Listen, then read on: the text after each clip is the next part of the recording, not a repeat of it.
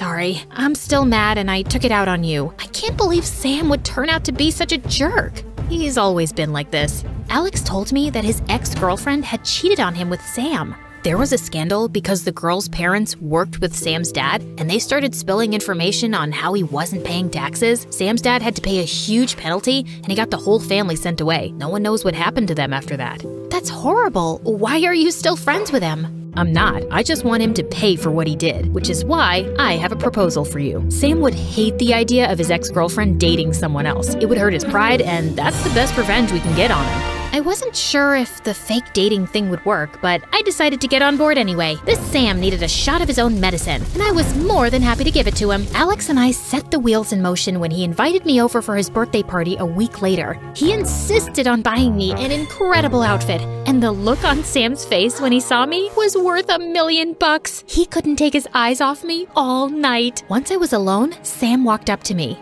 You know, I wasn't expecting you to make a move on Alex so fast, and I certainly didn't expect you to look like a vision. Why didn't you dress up like that when we were together? Because you had weird eyes. It made me super dizzy just looking at you, and I always thought I might throw up at any time. I didn't want to waste my pretty clothes like that, so I dressed up like a homeless beggar. Happy? Now leave me alone. I'm with Alex. Oh, come on. Alex is nothing compared to me. I'm perfect for you. You know that. I think we should give it another shot. Thanks for the offer, but I'll pass. Also, your fly's open. Sam flushed red as I walked away giggling. The next few weeks, Sam followed me around like a puppy. He would go to the library and stare at me for hours till I got the security guards to kick him out. At college, he would wait around with flowers. The plan was working. Sam was anxious and jealous, and I couldn't be happier. Meanwhile, Alex and I hung out every night plotting our next moves. Unlike Sam, Alex was always sweet to me, and I learned that he loved traveling. I went to Italy one time and they gave me a lobster to eat. I ended up breaking my front teeth. and if you look closely, you can see. Look, Alex came closer and my heart skipped a beat. He smelled like sand on a rainy day. The more time I spent with him, the more I fell for him. He was kind and we shared our love for romance novels. And the best part was that he always treated me with respect.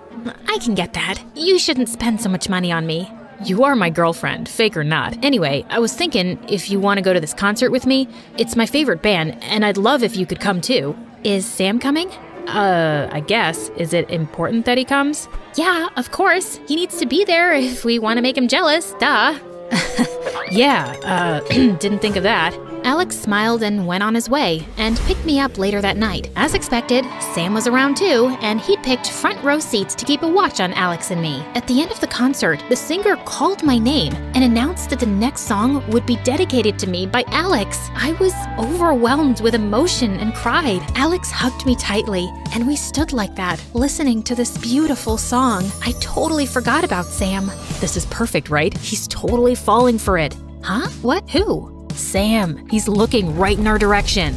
And suddenly, I saw Sam walking up on stage, and then he took the mic and started singing in the worst voice ever. People gathered around watching, and he just enjoyed the attention.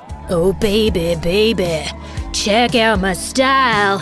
I'm rich and I'm handsome, it's all worthwhile. My moves are smooth, my smile's so bright.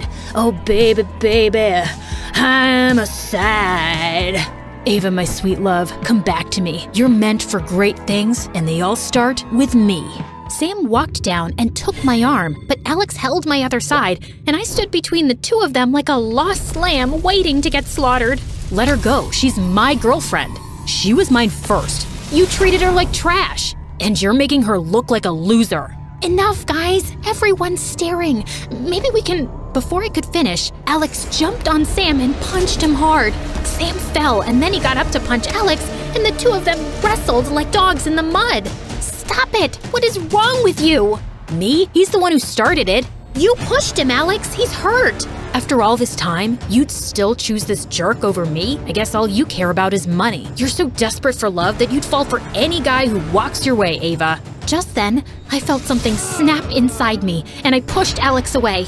All of you are morons! Eat dust and kill each other for all I care! I didn't even look back as I walked away. Maybe all this romance stuff was just a bunch of nonsense and good guys just didn't exist. When I came home, I saw my sisters waiting for me. Apparently, the concert was live on TV, and the entire fight between Alex and Sam was telecasted. They asked me how I felt, and I instantly broke down and told them everything. Maybe this is a sign that you need to realize your true value. Boys will come and go, but self worth will take you places. And if you want a prince, I have a friend who works at Disneyland. I can hook you up. I think I'm done with guys for a while.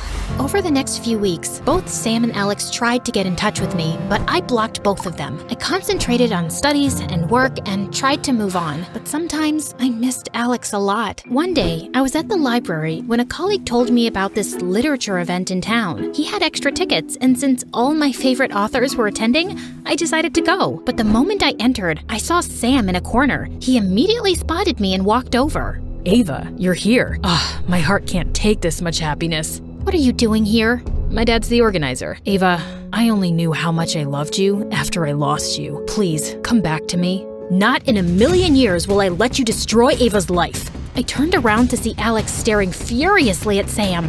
What what is happening?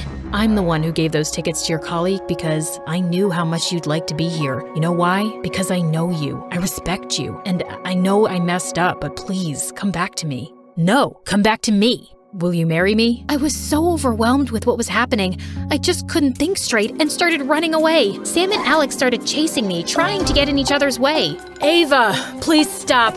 You're too athletic for a librarian. I may be a librarian, but I can still outrun a billionaire! Wait up, guys. I want to be loved too. Okay, I can't do this. This is too much effort.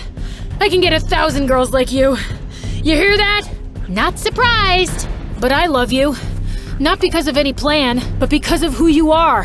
Prove it by catching me! And when Alex finally caught up to me, he pulled me in his arms and promised to never let go of me.